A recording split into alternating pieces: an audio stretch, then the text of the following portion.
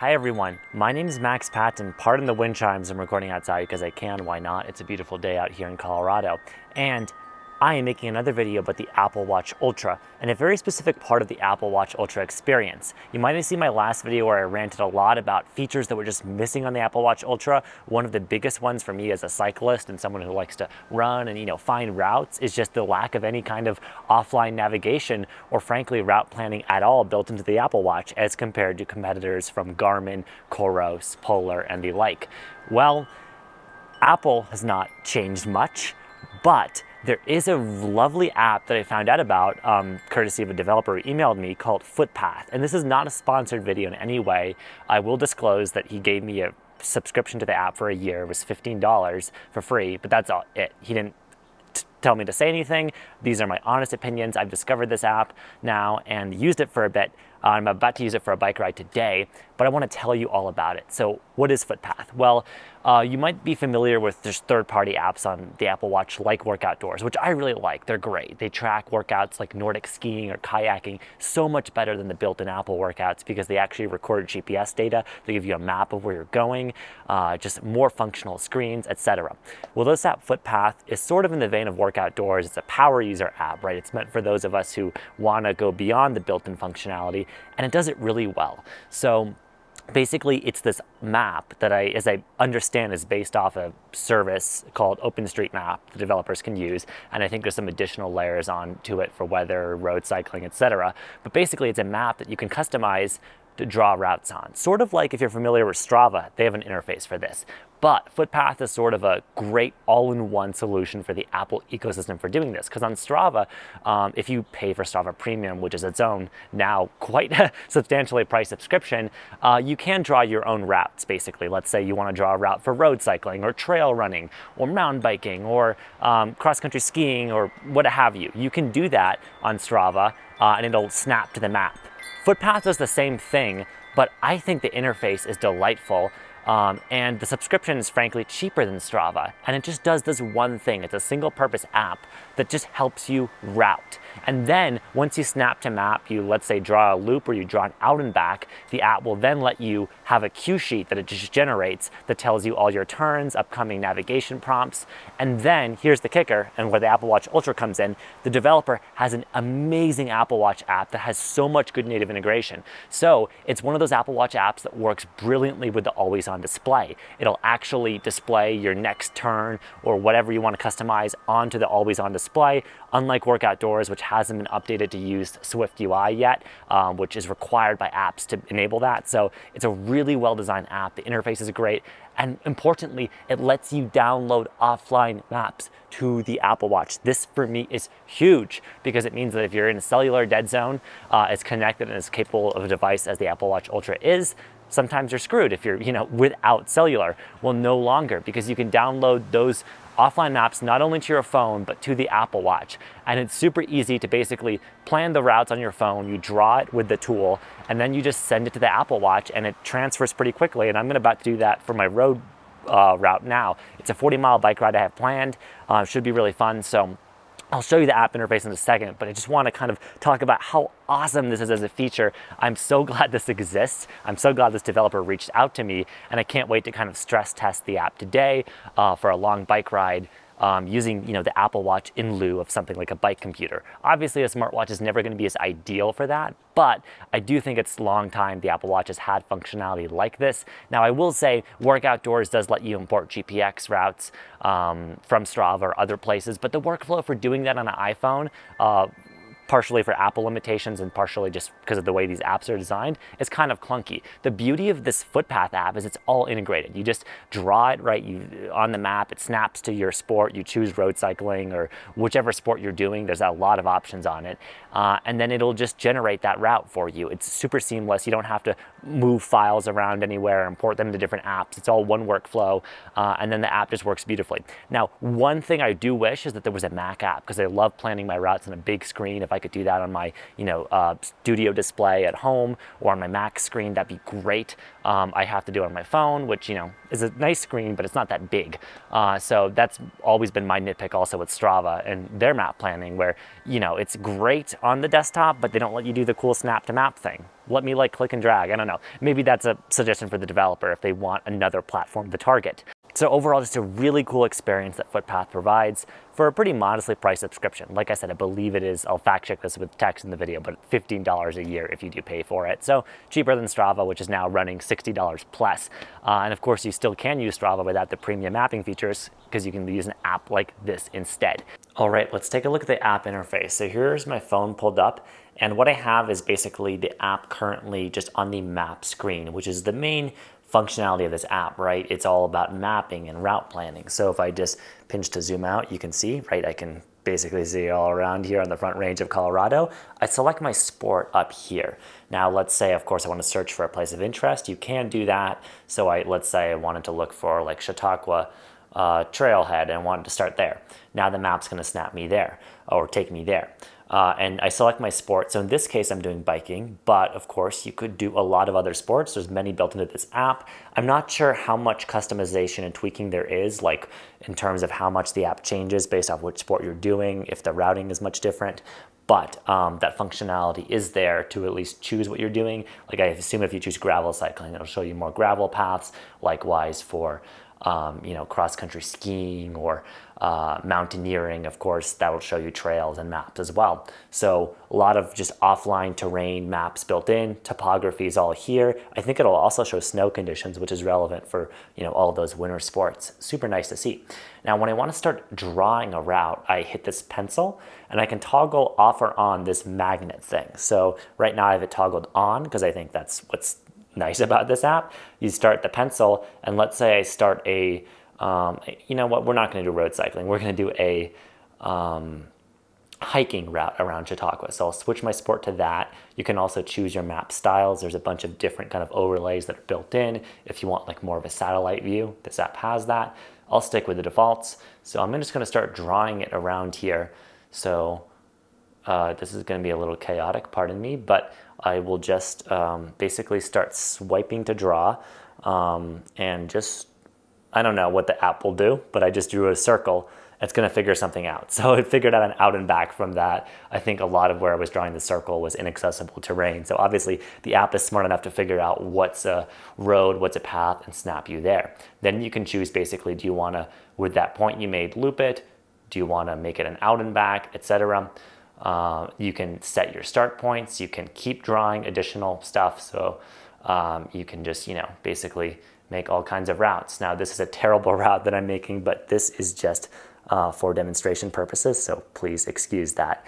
Uh, but basically, yeah, you can just keep on doing that. So that's how you plan routes. Now, I've already made a route, so I'm gonna show you the route I'm doing today. I'm gonna go into this hamburger menu, and you can see routes that you made. So I made a running route that I was testing with this app previously in my neighborhood.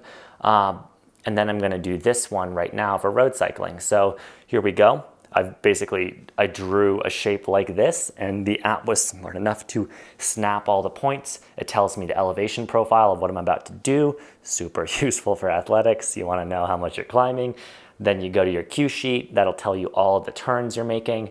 Um, super useful. And here's where the money part comes in. So you can start navigation on the phone or you can send to watch. So I'm gonna send this route to my watch. Uh, and now it's actually, I'm gonna show you what it does on my Apple Watch Ultra. So it's basically, if I can focus the camera, it is now going to download onto my Apple Watch Ultra. Uh, so I've got uh, basically an estimate of how long that route's gonna take me. It's looking like somewhere around the neighborhood of three hours um, and it you know has my route name. I can organize my routes with different lists, uh, and then I can once it's downloaded, I believe basically see a lot of things. So let me make sure my watch is in the focus zone of the camera and show you what that looks like. So here's the map view uh, of what I'm gonna do. I can just zoom with the digital crown. The interface is one of the more responsive I found from a third party mapping app or any app, honestly. It's just such a good interface. I think the developer did a really good job polishing this app. It's just superb. So here I am, can zoom out all the way. But yeah, so it's downloading. It'll let me know its status. Looks like it's offline ready. So now I can set off in to my ride and have a good time. Uh, and then of course you can even customize your settings on the watch. So things like which way you're orienting with north and all that. You can even, and this is really cool, use with another workout app. So let's say you want to use this for directions, but you use Strava or you use the Native Workouts app or use Workoutdoors or something else to track the workout because you prefer that interface, you can do that. And I've tested that with the Workouts app with a run. This app runs in the background beautifully. And let's say you're wearing Bluetooth headphones, it'll send those navigation prompts to your headphones even while you're in the other app. That's the power of the Apple Watch being, you know, a 64-bit uh, multi-core processor. Like this is so powerful compared to a Garmin device. And I wish Apple took more advantage of that with a built-in software, but you kind of have to rely on third-party apps like this to do such things. Um, by the way, I'm also going to enable basic GPS recording. That's an option you have. If you don't want to route, you can just track with this app as well. But going back to that, I'm going to hit start and you can see what it looks like. It'll show you your tracking metrics. Um, it just use the Apple Watch speaker there, but it would use headphones if you had those connected. Um, so yeah, you can use the digital crown to scroll between these views. It shows helpful things like your elevation. Um, and if you swipe between, I think it'll also show you, yeah, the, basically where you have to orient, super cool. Um, then your music as well. So overall, I really like the interface of this app, dead simple. Uh, I'm gonna end that recording. But yeah, that is the interface both on the phone and the Apple Watch Ultra. I would say that this is a super, super solid app. We're just gonna track the workout through this app uh, and record it, and I'll let you know how it goes.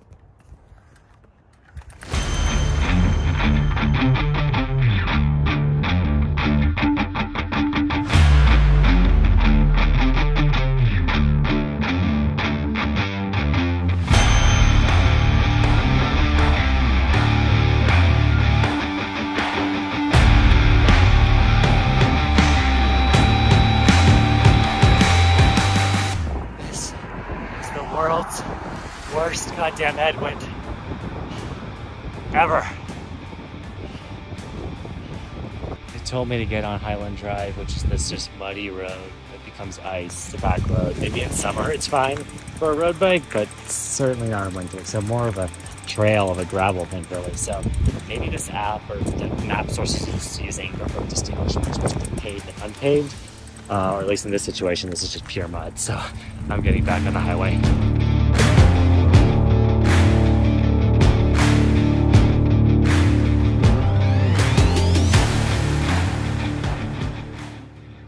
This winter ride, we've encountered basically everything that is not fun about winter. Mud, uh, bike paths with snow, confusing directions. Mostly not really the footpaths at fault, just, you know, uh, snowy trails and having to arrange all that and all that. Uh, headwinds too.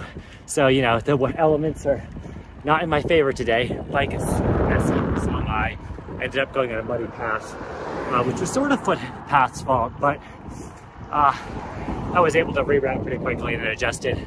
So now we're doing the climb and back. But oh my gosh, winter weather, it's real. I hope you can hear me. It's so, so freaking windy.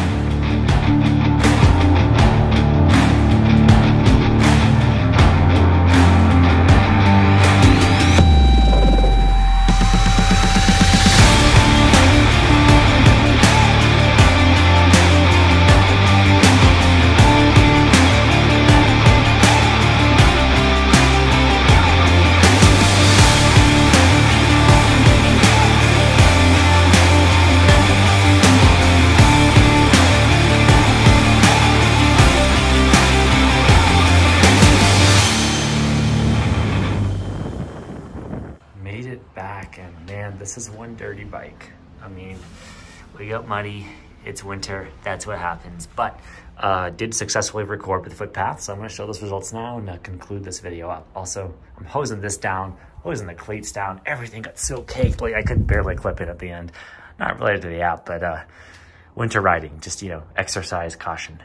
Alrighty, that was um, Footpaths. So really good app. I'm super impressed. Again, not sponsored. I'll link it in the description, but I have no affiliate relationship with the developer. He just gave it to me for free for a year, but I'll probably keep paying for it. I really liked how it worked today. So I would not say Footpaths is a replacement for dedicated um, adventure terrain maps like Gaia GPS, onX, um, things like that. Uh, I'm sure you could use it for things like backcountry skiing and um, you know off-road stuff, but based on my experience using it for road cycling, it did lead me astray a little bit sometimes on roads that were muddy and just not great in winter. Now, that's not exclusively this app's issue. Of course, it's using external data sources. No one developer can build all of their own maps. I've had the same issues with Strava's auto routing. Uh, so the fact that this, you know, small developer is competing with a company the size of Strava with a cheaper price, I think is pretty compelling. That's the benefit of third-party apps uh, or indie developers is that you know you can target a really specific use case and just address it so well. Uh, and this one app, I think, yeah, competes with the Strava routing. Um, is almost on par with the Garmin routing. Uh, and so in that way, it elevates the whole Apple Watch experience, whether or not you have an Ultra but I do think it is really well suited to the Ultra. It makes amazing use of the action button, the always on display. I mean, I have to keep, this is an Apple praise thing, but I love the always on uh, just the screen on the Apple Watch Ultra. It's so bright. It's like, I mean, it's always been amazing. Uh, and so for that reason, I like that this app takes advantage of it. It like really has an interface that stretches out for that full screen. It lets you see a lot of data at once. You can record your workout like I did today with the app itself, or use an external workout app like Workoutdoors, another great third-party Apple Watch app, um, or even Apple's native workouts app. The developer like this developer, I feel like has thought of so many things that just like um, it lets you do everything and I really like it. So for its single small purpose of helping you route and kind of navigate uh, on adventures, which I think everyone should do, not just Apple Watch Ultra owners, but all of us, you know, let's have be fit, stay safe, but have fun outside. This app is really good. It, really does elevate the Apple Watch Ultra experience for me. I don't know if it, you know, alleviates all of my complaints that I had in my last video about this not stacking up to a Garmin device. And um, no wristwatch is going to be a replacement for like a dedicated bike computer, say, which I think is going to be more ergonomic to see than looking at your wrist. But navigating today, this worked pretty well by and large. Even when I did go off route or went on a weird road or wanted to modify something, I could easily, you know, use that big, beautiful screen on the Ultra to just zoom out a little bit on the digital crown and pan around the map and see where I was supposed to go, uh, even while on the bike. So super good interface. Um, also, shout out to uh, AirPods Pro, not really to the app, but I just got some new AirPods Pro and the transparency mode on those. In my opinion, now everyone's different about this. I get that safety is personal, but in my opinion, they are safe headphones to wear on the bike because their adaptive transparency mode, where they pass through the audio what's around you, is really good. I had awareness of cars around me even when I was busy roads, and yet I could still hear my music. So um, and the prompts from this app, which is what's the relevant thing here. This app will send you voice prompts that are honestly really descriptive. It would say like cross the street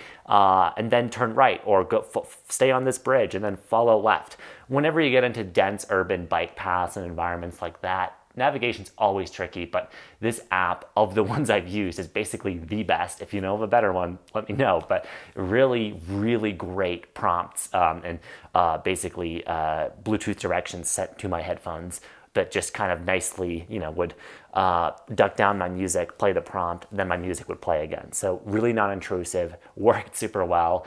Uh, and you don't even have to listen to music. I totally get it if you're not into that for safety. Even if you just had your headphones like AirPods in transparency mode and use them for the voice prompts in this app, that's great. It can use the Apple Watch Ultra speaker, but when it's windy and you're on the bike, maybe you won't hear that as well. So that's just kind of my advice on the note of voice prompts, which I think extends the utility of this so much because on a bike, uh, maybe in other sports too, like maybe types of skiing where you're wearing thick gloves, you can't always look at your wrist easily. So when you have wireless headphones and you have great integration, like uh, with this app, the voice prompts are cool. So I think urban, you know, cyclists or adventurers or people in areas that have good maps but need offline functionality and want smarter routing, like, you know, here where I live in Colorado on the Front Range or maybe the Bay Area in California.